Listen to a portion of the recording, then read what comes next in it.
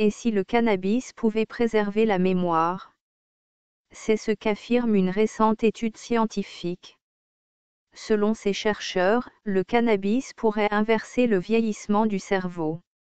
Un effet provoqué par le THC. La molécule activerait les récepteurs cellulaires. Dit cannabinoïdes. Testé sur des souris. Le traitement a leur mémoire et leur performance. Adapté à l'homme, le cannabis lutterait contre les maladies neurodégénératives. Une utilisation thérapeutique, pour les personnes atteintes de démence ou d'Alzheimer.